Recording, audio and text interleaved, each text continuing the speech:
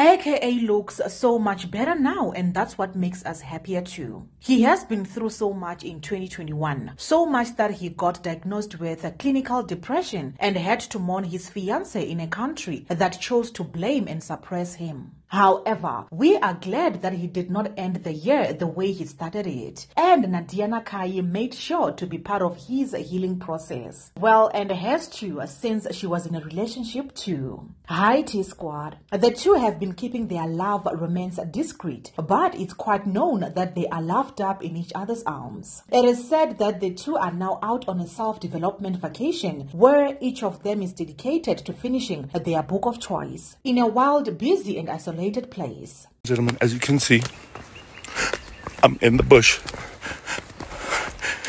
I'm so scared right now. I'm nearly at the breakfast buffet. Let this serve as a last. Ah, we made it.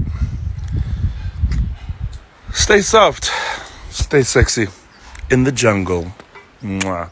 First a Rolly and now a vacay, Kiernan Shaw is a romantic man after all. And that's it for now, T Squad. Do leave your comments down below. I love you.